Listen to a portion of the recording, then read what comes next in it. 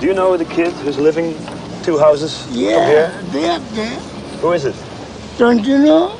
Yeah, I know. But I don't know him personally. You know. you know Dougie Fresh? Yes, I know him. Yeah. Do you know his records? But you know, I'm not about that kind of fellow. That's them kids. Uh, You're not into rap music? nah, not really. Not really.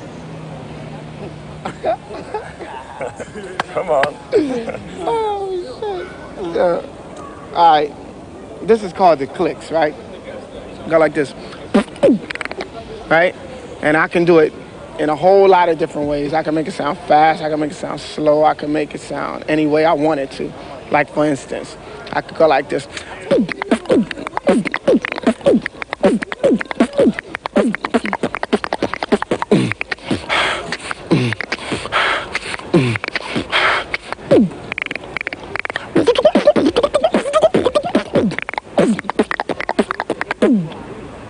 That's it. That's it. That's it. I can do it like that. I can do. I can play anything that I want to play. I can play anything you can think of.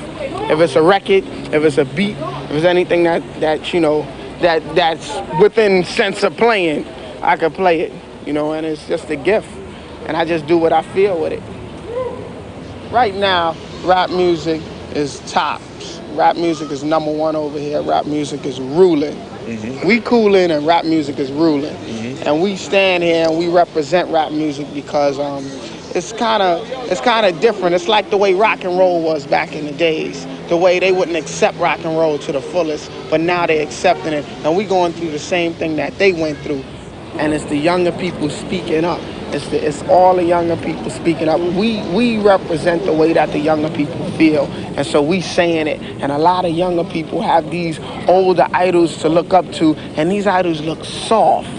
You know what I'm saying? They they I mean, it's nothing the matter with having long hair, but for you to wear eyeliner and blush and lipstick and to let your fingernails grow so long and all of this and and, and all of that is cool if you still representing things like a man, but a lot of younger brothers and sisters, you know, they look at they look at these young rap stars and they can see that they represent something that's real. We don't wear no glittering stuff. Only thing we wear that glitter on us is our gold, and we wear gold because it's natural.